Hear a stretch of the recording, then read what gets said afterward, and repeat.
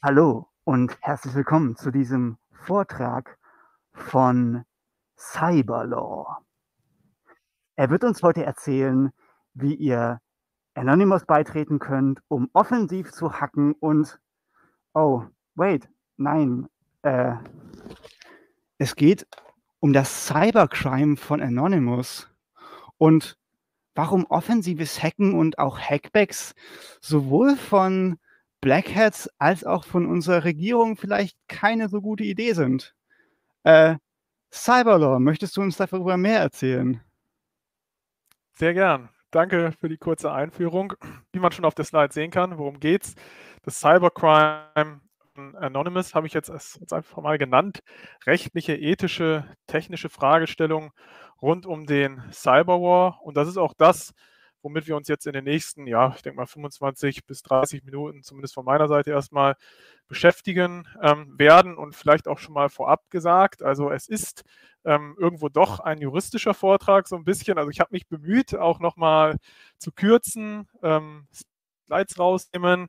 Ähm, aber es ist doch relativ viel Text äh, auf mancher Folie. Das heißt, seid schon mal vorgewarnt an dieser Stelle. Ähm, und vielleicht auch noch ein Hinweis, also der Vortrag, der wird sich im Wesentlichen, obwohl eben nur Anonymous draufsteht, in zwei ähm, Abschnitte nämlich gliedern. Der erste Abschnitt wird sich tatsächlich um dieses Thema Anonymous drehen und die Kriegserklärung ähm, gegen die russische Föderation.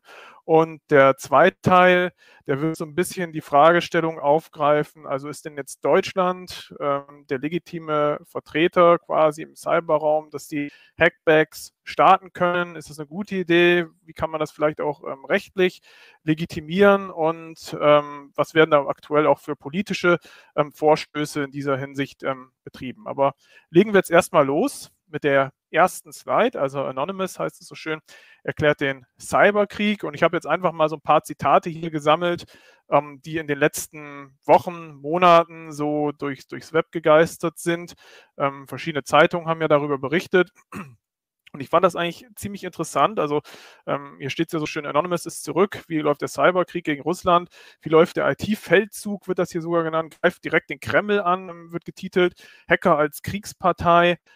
Es wurden eben Daten geleakt, also hier sensible Daten von 120.000 russischen Soldaten und dann das Thema Hacktivism im Allgemeinen zwischen digitaler Sitzblockade und Cyberwar, so ein bisschen so eine abgestufte Meinung und dann eh hier ähm, der Hinweis, dass Anonymous die größte russische Bank und die Moskauer Börse gehackt hat. Und tatsächlich ist es so, also ich poste auch relativ viel in manchem sozialen Netzwerk und meistens bekommt man eigentlich relativ wenig Reaktion, aber als ich dann ähm, kurz nachdem ähm, der Angriffskrieg ähm, Russlands ähm, gegen die Ukraine begann, ähm, dazu mal was dann gepostet hatte, das ist dann wirklich auch durch die Decke gegangen. Also da haben beispielsweise bei LinkedIn, ähm, das ist ja eher so eine konservative Klientel, die sich meist so zurückhalten mit Kommentaren, das ist da wirklich dann durch die Decke gegangen. Und da habe ich mir gedacht, okay, offensichtlich ist es etwas, was die Leute anspricht. Also viele fanden das dann extrem toll. Also man hat dann irgendwie wahnsinnig viele Daumen ähm, nach oben gekriegt, ähm, dass jetzt Anonymous ähm, den Cyberkrieg erklärt, sodass es erstmal den Eindruck erweckt, das ist ja eigentlich eine ganz gute Idee. Ähm, man unterstützt die Ukraine, um eben diesen völkerrechtswidrigen Angriffskrieg ähm, Russlands ähm, abzuwehren. Und deswegen, glaube ich, haben da auch erstmal sehr, sehr viele Leute ähm, doch eher positiv ähm, auf diese Kriegserklärung reagiert. Und was wir jetzt mal so ein bisschen jetzt auch auseinandernehmen wollen, ist die Frage, also ist das denn überhaupt Krieg? Ähm, und welche Auswirkungen hat denn letzten Endes so ein bisschen auch dieses Hand äh, von Anonymous, wenn man da so ein bisschen die rechtliche ähm, und ethische Brille aufsetzt. Und wenn alle immer von Cyberwar reden, ist ja die erste Frage, die man sich stellen muss, was ist eigentlich Cyberwar jetzt eigentlich genau? Und ähm, da kann man eigentlich, ähm, wenn man das juristisch bewerten will, zwischen zwei Sachverhalten ähm, unterscheiden und muss sogar dazwischen unterscheiden. Also einmal einerseits Cyberattacken Russlands ähm, gegen die Ukraine und ähm, der umgekehrte Fall eben, dass die Ukraine ähm, gegen Russland hackt. Und da muss man schon von Anfang an sagen, wenn man das Ganze völkerrechtlich betrachten will, dass eben bloß Cyberattacken, sage ich jetzt mal, nicht ähm, ein Cyberwar automatisch sind, also ein kriegerischer Zustand, ähm, weil War ist ja letzten Endes nichts anderes als die englische Form von Krieg. Und da muss man eben gucken, wie bewertet das das Völkerrecht was für eine verfassungsrechtliche Einordnung haben wir da? Also das sind zwei Fragen, die man sich stellen muss. Das Völkerrecht deswegen, weil Deutschland ja nicht irgendwie losgelöst von, von sämtlichen Regelungen ähm, agiert, also auch nicht im Cyberraum. Und äh, die verfassungsrechtliche Einordnung deshalb, weil wir uns ja auch fragen müssen, und das wird dann der zweite Teil des Vortrags sein, wer ist denn in Deutschland zuständig für so ein Hackback?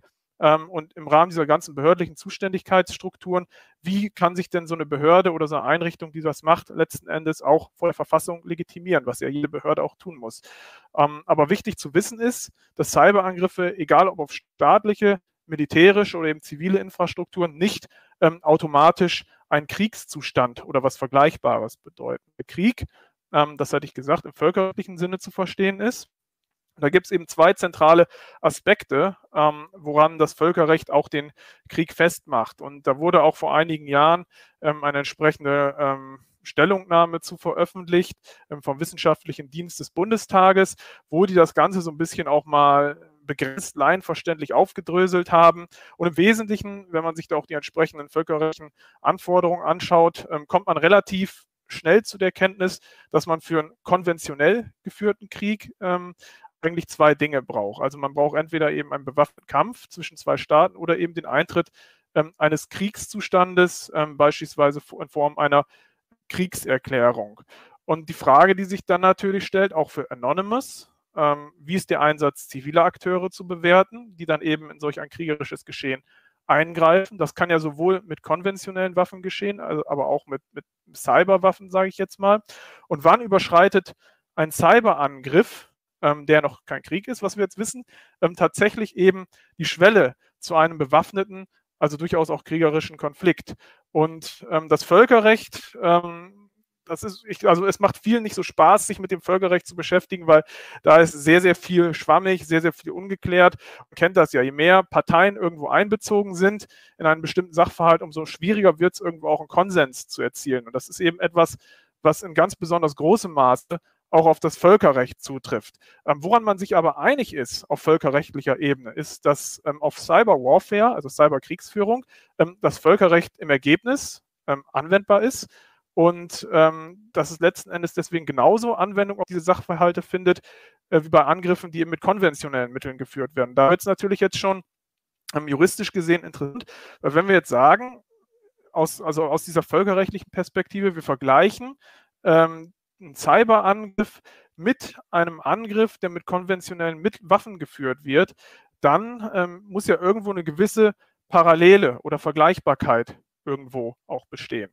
Und da muss man jetzt erstmal unterschiedliche Perspektiven, die hatte ich ja eingangs auch schon so ein bisschen ähm, angesprochen, ähm, erstmal betrachten. Und letzten Endes ist es eben so, dass diese unterschiedlichen Perspektiven auch zu unterschiedlichen Bewertungen gelangen. Wenn wir uns also einmal das Thema Ukraine versus Russland anschauen, also Russland versus Ukraine, glaube ich, braucht man nicht zu sagen. Das ist, das ist völkerrechtswidrig in jedweder Hinsicht, egal ob es im Cyberraum ist oder ähm, ob, es, ob es mit konventionellen Waffen ist. Bei Ukraine versus Russland sind das hier Cyber-Gegenschläge, die auch schon geführt werden. Und das ist Cyberwar. Also nicht nur ähm, als Begriff, sondern auch per Definition, da eben sich die Ukraine in einem bewaffneten Konflikt mit Russland befindet und der eben flankiert wird, auch durch Maßen der Cyberkriegsführung. Und da ist es so, dass wenn ein Staat auf diese Weise angegriffen wird, er natürlich das Recht hat, sich zu verteidigen mit jedweden Mitteln.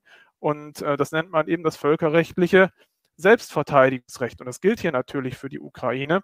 Und konkretisiert werden eben ähm, diese Maßstäbe im Tallinn Manual. Ähm, und das enthält eben verschiedene Regeln, Auslegung völkerrechtlicher Vorschriften, auch mit Blick ähm, auf dieses Thema Cyberangriffe und Cyberwar. Wenn wir jetzt aber wieder zurückgehen zum Thema ähm, Anonymous, also weg von der Ukraine, weg von staatlichen Einrichtungen der Ukraine, die ähm, zurückhacken, sage ich mal, dann müssen wir schauen, was ist Anonymous eigentlich? Und ähm, Anonymous ist ein Hackerkollektiv, ähm, lose organisiert. Es gibt jetzt keine klaren Hierarchien, keine Zuständigkeitsordnungen. Und letzten Endes ähm, wird man deswegen sagen können, ja, also es sind mehr oder weniger Privatpersonen, ähm, die dort auf eigene Faust tätig werden, wenn sie denn tätig werden. Und ähm, erst recht ähm, ist es dann natürlich so, dass Anonymous an sich ähm, kein Völkerrechtssubjekt ist, ähm, somit hier auch nicht Konfliktpartei ähm, sein kann in diesem Russland-Ukraine-Krieg und deswegen ähm, auch keine Kriegserklärung jetzt aussprechen kann. Also die können sich jetzt nicht als unabhängige dritte Instanz zwischen Russland und Ukraine jetzt aufstellen und sagen, wir machen jetzt als unabhängige Instanz eine Kriegserklärung. Ein weiteres Problem, was natürlich auch daran liegt, dass es ein Hacker-Kollektiv ist, ist, dass eben viele Leute oder dass die Leute ohne Kennzeichnung ähm, tätig werden. Das heißt also, wir haben ähm, freie Kombattanten ähm, im digitalen Raum. Und das bedeutet eben, dass die Zuordnbarkeit, also wer jetzt für wen eigentlich tätig wird, ähm, sehr, sehr schwer ist, wenn nicht sogar unmöglich ist. Aber das ist eben auch etwas, was das Recht irgendwo voraus, weil ja beurteilt werden können muss, wer ist jetzt welcher Konfliktpartei zuzuordnen oder gegebenenfalls auch gar keiner Konfliktpartei zuzuordnen. Und im konventionellen Krieg würde es bedeuten, wenn man sich eben beteiligt, ähm, dass man seine Rechte als Zivilist verliert. Ähm, und das ist in gewisser Hinsicht natürlich auch auf das Thema ähm, Cyberwar mehr oder weniger übertragbar. Aber letzten Endes ist es so, selbst wenn man dem Aufruf ähm, der Ukraine folgt, der in einigen ähm, Wochen auch veröffentlicht wurde, also eben dem Beitritt zur IT-Armee der Ukraine, also dann quasi mehr oder weniger rekrutiert ähm, wird, ähm, führt das auch nicht automatisch zu einer internationalen Legitimation des Handelns, weil das eben hier auch tatsächlich nur ein einseitiger Aufruf gewesen ist. Es stellen sich dieselben Probleme. Also ich, ich melde mich ja nirgendwo an jetzt bei der Ukraine. Ich bin nicht Mitglied der ukrainischen Streitkräfte. Ich arbeite nicht für das ukrainische ähm, Verteidigungsministerium oder ähnliches. Das heißt, letzten Endes ändert sich dadurch diese ganze Attributionsfrage ähm, gar nicht. Und ähm, das Problem ist, und ich glaube, das sehen viele auch nicht so richtig, ähm, dass natürlich, wenn ich persönlich handle, auch für mein Handeln als Person, als natürliche Person verantwortlich bin ähm, und auch strafrechtlich verantwortlich sein kann. Das sind eben Fragen, ähm, die durch Cybercrime geregelt werden. Also jeder Staat hat heutzutage irgendwo Strafgesetze, ähm, die sich mit Crime befassen. Also auch wir in Deutschland haben beispielsweise äh, bei Dat unbefugter Datenveränderung, Computersabotage entsprechende Straftatbestände oder wenn jetzt beispielsweise personenbezogene Daten unbefugt ähm, Zugriff verschafft wird, die offengelegt werden. Das sind eben alles ähm, ähm, Straftatbestände aus dem Cyberbereich. Das heißt, man ist da auch nicht völlig von seiner Verantwortung befreit. Man könnte jetzt natürlich sagen, okay, ähm, Anonymous erklärt den Krieg, erklärt den Krieg symbolisch ähm, und es werden Hackerkollektive und auch lose Einzelpersonen tätig, ähm, die eben versuchen, alles, was irgendwie russisch ist, nach Möglichkeit erfolgreich anzugreifen, um irgendwie einen Schaden, sei er auch noch so klein, ähm, zuzufügen, weil alles hilft ja irgendwie. Ähm, das heißt also, man kann sagen, es ist, es ist durchaus sinnvoll. Also eine Solidarisierung mit der Ukraine macht in diesen Zeiten definitiv Sinn. Ähm, man kämpft natürlich auch gegen ein autoritäres Unrechtsregime, ähm, was, was menschenverachtende ähm, Kriegstaten ähm, verübt. Und, ähm, und es ist ja auch mehr und mehr deutlich geworden, dass das Ganze nicht nur völkerrechtswidrig ist, das ist ja irgendwie eine Dimension, sondern das ist auch eben menschlich, ethisch völlig unvertretbar ist, was da momentan gemacht wird. Also wir haben einen wirklich brutalst geführten Angriffskrieg ähm, gegen den ukrainischen Staat, gegen Zivilisten ja insbesondere auch. Und da kann man natürlich sagen, ja, also so ein bisschen Politik der tausend Nadelstiche. Jeder kann seinen Beitrag leisten, jeder Beitrag soll helfen. Ähm, das kann sowohl aktiv als auch passiv sein. Aber Frage wiederum, ist es eben alles, was wir berücksichtigen müssen, wenn wir überlegen, ähm, ob wir jetzt Hackbacks, äh, ich sage jetzt Hackbacks, aber digitale Angriffe ähm, eben durchführen. Und das Problem, das hat, deutet sich ja schon so ein bisschen an oder hat sich auf den Slides zuvor angedeutet. Also private, Privatpersonen äh, mischen sich in weltpolitische Fragestellungen ein. Ähm, man kann auch sagen, diese tausend Nadelstiche bestärken eben die russische Militärführung und die Propagandamaschinerie nur weiter. Also es wird eben auch Futter geliefert ähm, für, für Putin, für sein, für sein rechtswidriges ähm, Vorgehen. Und wir haben natürlich auch den Punkt, wenn eben ähm, kritisch, also kritische Infrastrukturen in der Ukraine erfolgreich angegriffen werden sollten, dann leiden ja letzten Endes auch Zivilisten darunter. Das heißt, die russische Zivilbevölkerung ähm, kann durch sein, so einen Angriff ja auch unmittelbar ähm, tatsächlich betroffen werden. Das sind ja auch ähm, letzten Endes keine Personen, die jetzt unmittelbar an diesem Konflikt ähm, wirklich beteiligt sind. Und das kann letzten Endes auch dazu führen, dass es eine weitere Solidarisierung ähm, im Lande gibt. Das ist ja eh so ein Problem, was wir zurzeit erleben, dass wir eine wahnsinnige Fake News-Maschinerie haben, die da ähm, in Russland in Bewegung gesetzt wird, ähm, dass äh, auch explizit eben die politische Stimmung gegen den Westen ähm, angeheizt wird. Und das gibt natürlich auch solchen Leuten wie Putin dann letzten Endes auch Rückendeckung ähm, beim Kampf gegen den, gegen den bösen Westen, die eben nur das Schlechteste für Russland wollen. Und ähm, man muss sich da meiner Meinung nach unter ethischen Gesichtspunkten auch durchaus überlegen. Es ist natürlich nett zu sagen, jeder kann zum Weltenretter werden, jeder kann was beitragen.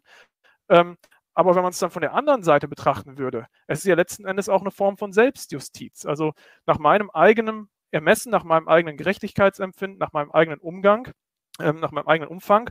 Und das ist ja auch etwas, was wir uns normalerweise gar nicht zumuten würden. Also wenn es jetzt um Konflikte in Deutschland gehen würde, wenn ich irgendjemand nicht leiden kann, ist es ja auch nicht so, dass ich dann gleich versuche, ihn auf irgendeine Art und Weise ähm, zu hacken oder ähnliches oder bloßzustellen. Und ähm, das ist, glaube ich, auch etwas, was man hier einfließen lassen muss. Und last but not least ist es natürlich auch so, ähm, Russland, Ukraine, das sind definitiv die beiden Hauptkonfliktparteien. Ähm, aber es ist ziemlich wahrscheinlich, dass sich hier auch andere fremde Mächte einmischen äh, mit nachrichtendienstlichen Operationen, die sie dann eben nutzen unter dem Deckmantel ähm, dieses Krieges, der da stattfindet.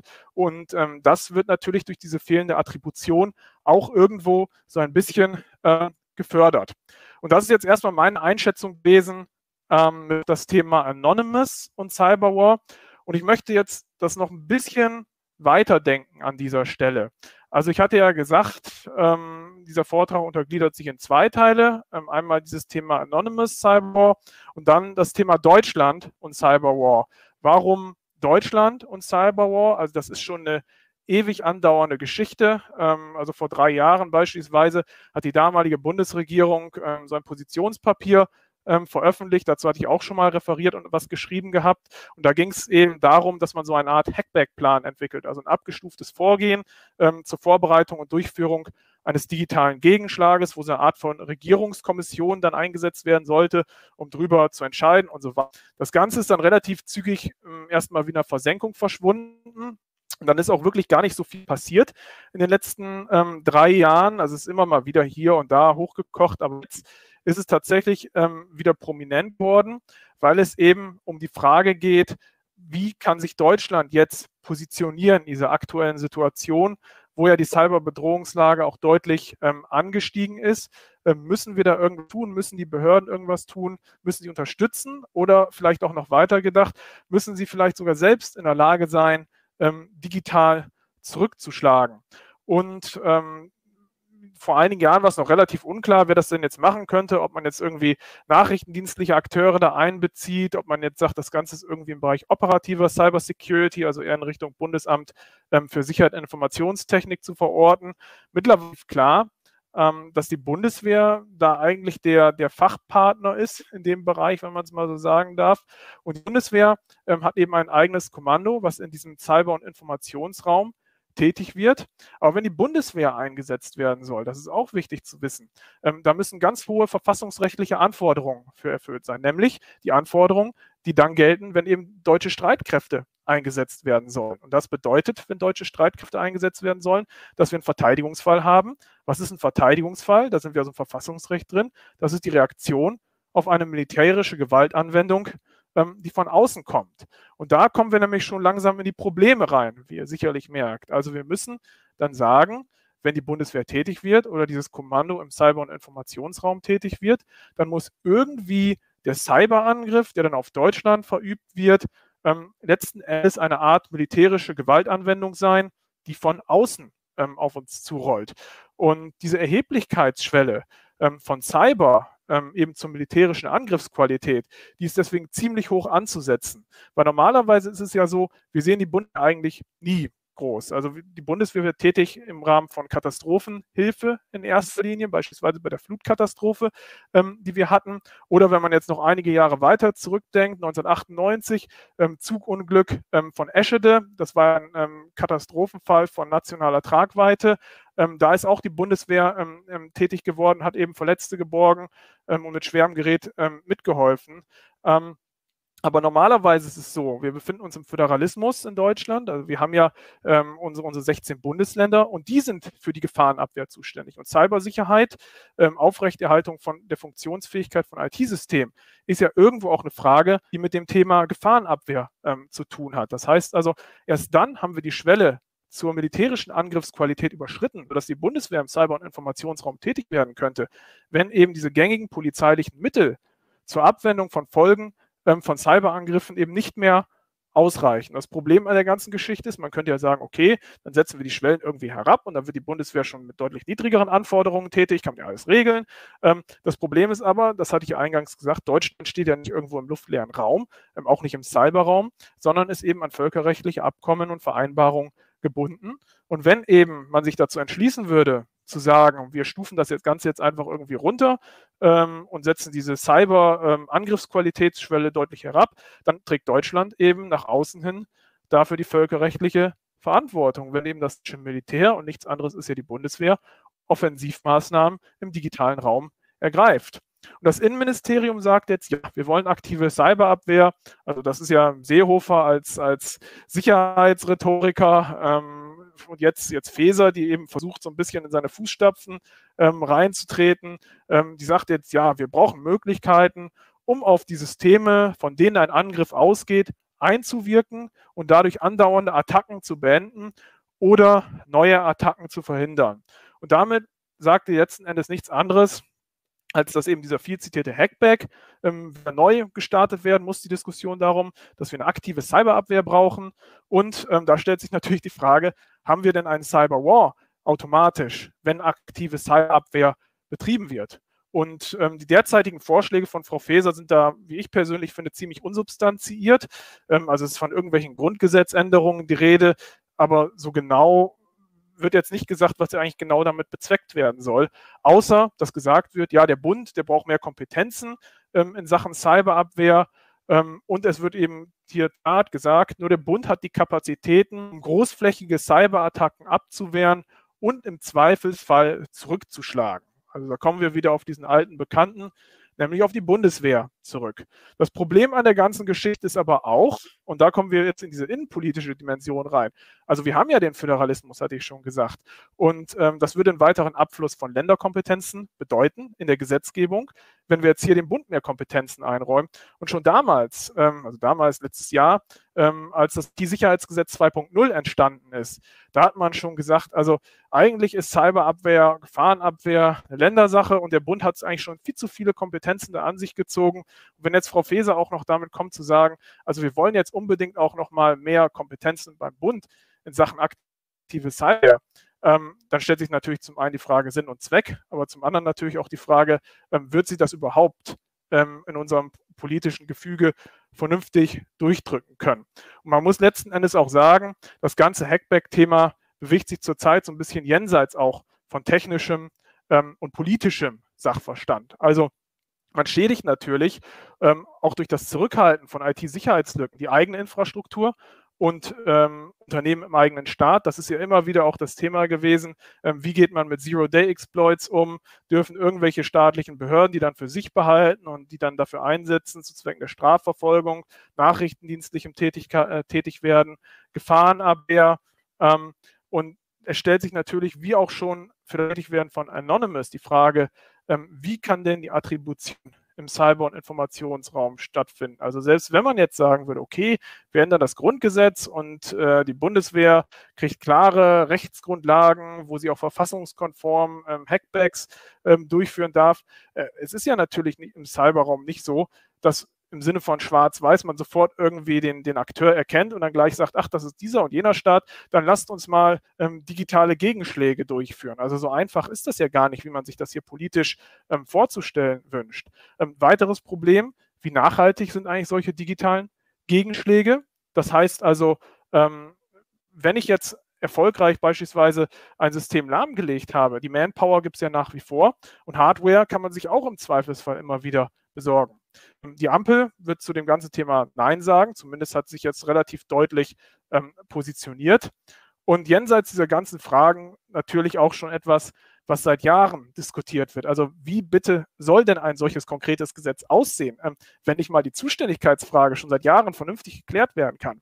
Ähm, und last but not least eben, Deutschland steht wieder in der völkerrechtlichen Verantwortung nach außen hin. Das heißt also, wenn man sich jetzt diese Hackback-Pläne anschaut, wenn man sich anschaut, was Frau Faeser gesagt hat, wenn man das mit dem vergleicht, was wir zu Anonymous gehört haben, was in den letzten Jahren so seit 2019 in Deutschland passiert ist, dann kann man eigentlich dazu nur sagen, also jetzt den Hackback wieder aufzurollen, das ist mehr oder weniger politische Rhetorik ähm, ohne Sinn und Verstand. Und damit kommen wir letzten Endes hier auch schon ähm, zu meiner finalen Slide ähm, mit dem Titel Hackback, Cyberwar, digitale Gegenschläge. Ähm, klingt gut, ist aber schlecht. Also natürlich, ähm, deswegen hat es ja auch so eine Solidarisierung ähm, vor einigen Wochen mit Anonymous gegeben. Also erstmal sind die Leute natürlich ähm, aufgewühlt ähm, und das ist natürlich alles rechtswidrig, was da auch, also völkerrechtswidrig, was, was Russland da auch tut. Nichtsdestotrotz muss man sich natürlich überlegen, auf welche Legitimationsgrundlage stützt man hier in Tätigwerden? Das gilt sowohl für Anonymous als auch für Deutschland. Und welche Auswirkungen hat das wirklich auf die betroffenen Akteure? Und ähm, gerade bei Anonymous ist es so, ähm, dass die Ziele, Maßnahmen und Beweggründe nicht wirklich klar kommuniziert wurden und dass man auch annehmen kann, also obgleich dieser Schlagzeilen, die ich auf der ersten Slide präsentiert hatte, dass sich der eigentliche Krieg und die kriegsentscheidenden ähm, Ereignisse nicht im Cyberraum ähm, abspielen werden. Das heißt, dass die gegenwärtigen Auswirkungen zumindest ähm, marginal sind mit Blick auf das gesamte Kriegsgeschehen. Und diese Politik der tausend Nadelstiche, wo man dann ja eben auch noch einen Nadelstich zu beiträgt, ähm, die birgt eben auch nicht wirklich absehbare Risiken für Gesellschaft und Wirtschaft. Und die Frage ist, ob man sich das als Einzelner, ähm, wenn man da dann mitmischt, sich wirklich zumuten möchte und es sich auch für sich vertreten kann, ähm, diese nicht absehbaren Risiken mitzutragen. Und ähm, das Problem gerade bei Anonymous ist, wenn alle verantwortlich sind ähm, irgendwo und man quasi Verantwortlichkeit einer, einer äh, ominösen Organisation, sage ich jetzt mal, zuschreibt, dann ist letzten Endes keiner verantwortlich. Und was Deutschland angeht, hatte ich gesagt, diese gefühlt ewige Diskussion, die wir schon seit 2019 geführt haben. Und da sind wir letzten Endes seit Jahren nur auf der Stelle getreten. Also ich habe aus dem Innenministerium schon mal das eine oder andere Mal gehört, ja, wir machen jetzt ein Gesetz zum Hackback. Ich habe nichts mitgekriegt von einem konkreten Gesetz. Also politisch ist das irgendwie en vogue. Also Sicherheitspolitik ist ja irgendwo immer en vogue.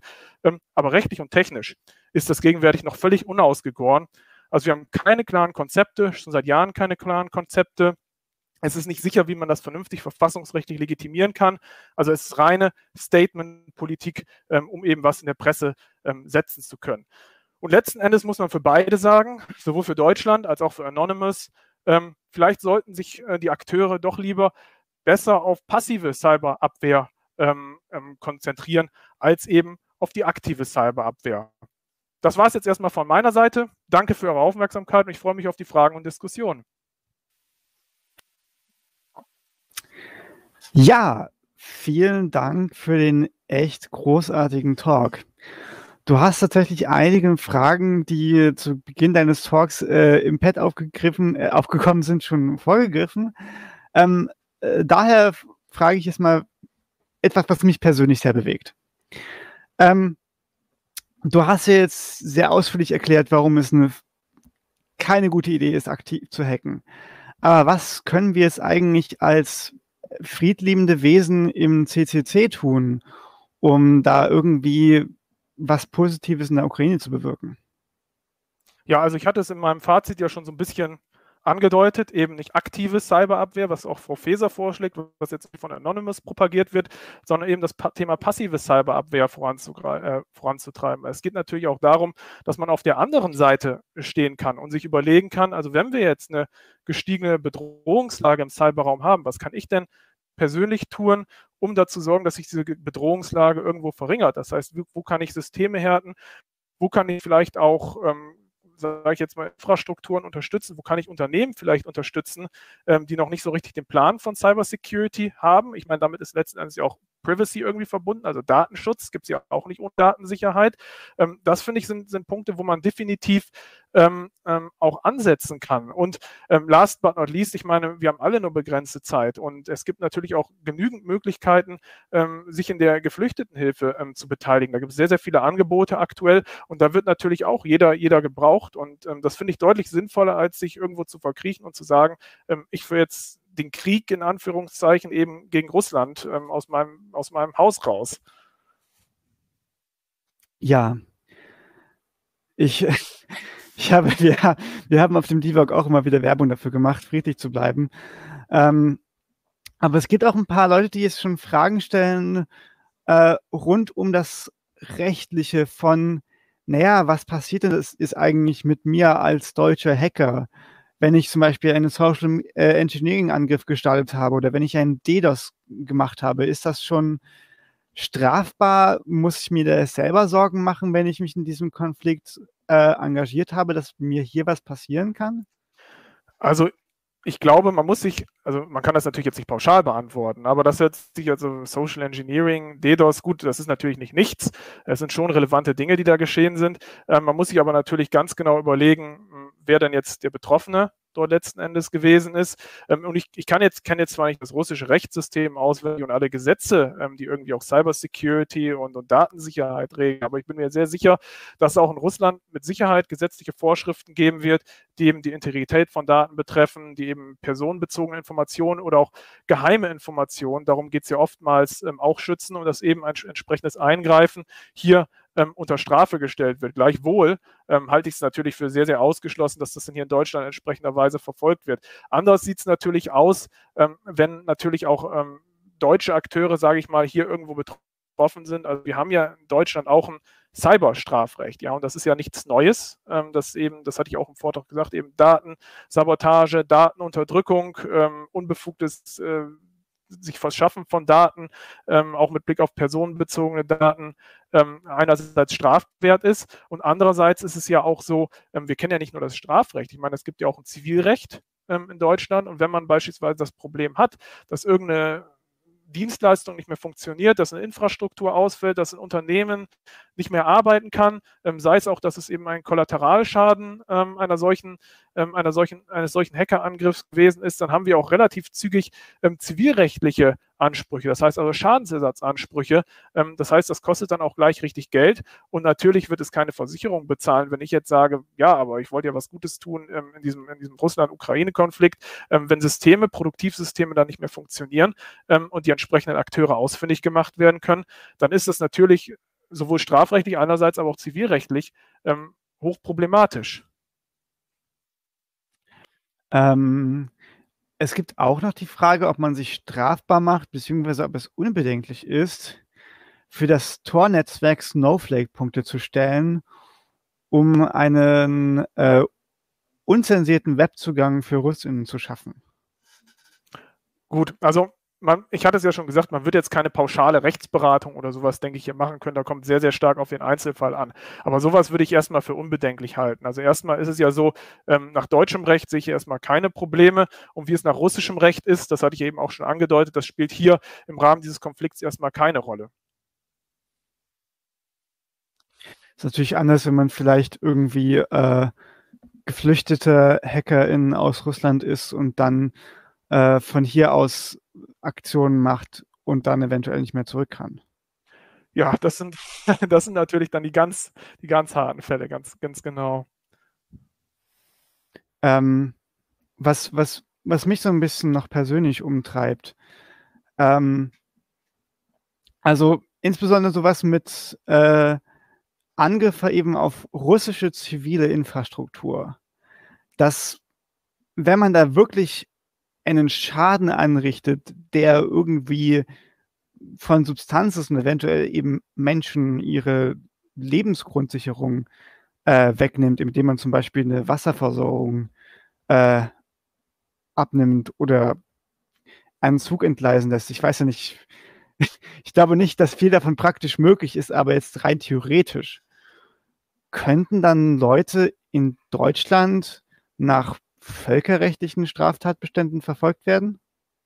Also meiner Meinung nach ist das erstmal relativ, relativ ausgeschlossen. Also sind nach wie vor harte Akteure, die da handeln. Das heißt, also man würde sich nach russischem Recht durchaus strafbar machen, also nicht durchaus in jedem Falle strafbar machen. Und dann käme es darauf an, tatsächlich, wie es mit äh, Amtshilfe ähm, und ähnlichem aussieht. Aber ähm, da kann man sich relativ, also was das Juristische angeht, halte ich das, das hatte ich auch eingangs gesagt, für relativ unproblematisch, weil ich, weil es eben keine Amtshilfe zwischen Russland und Deutschland gibt in diesen Fällen. Ähm, aber ähm, man muss natürlich sehen, ist es für einen, ist es für einen selbst vertretbar, ja, sowas, sowas zu machen. Das ist ja auch das, was ich unter ethischen Gesichtspunkten angesprochen hatte, weil es geht ja nicht alles nur um Recht. Also kann ich jetzt irgendwie belangt werden und, und irgendwie muss ich dann vielleicht irgendwie dafür aufkommen, wenn es zu stehen kommt, sondern auch die, auf die Frage, ähm, kann, ist das für mich vertretbar, wirklich sowas, sowas zu tun? Ähm, oder komme ich, kann ich das für mich selber nicht nicht ethisch vertreten. Und, und ich glaube, das ist die eigentlich entscheidende Fragestellung, ähm, die man hier stellen muss. Das Rechts kommt da, glaube ich, eher auf, auf, auf, auf zweiter, an zweiter Stelle erst. Guck gerade noch mal auf Twitter, ob da Fragen sind. Nein. auf Mastodon. Mastodon ist eine fantastische dezentrale Alternative zu Twitter. Ihr solltet es unbedingt benutzen. Aber tatsächlich nein. Mastodon hat auch keine Fragen für dich. Habe ich alle, habe ich alle geplättet. du hast uns alle sprachlos, äh, sprachlos gemacht. Okay. Ähm, aber ich habe ja sowieso gehört, dass du ein bisschen knapp dran bist und dass du deswegen auch leider nach dem Panel nicht nochmal Zeit für einen Breakout-Room genau. hast. Das heißt, das heißt, du wirst wahrscheinlich ein bisschen froh drum sein, wenn wir dich etwas früher entlassen. Ähm, ich bedanke mich viel, äh, vielmals für deinen fantastischen äh, Beitrag.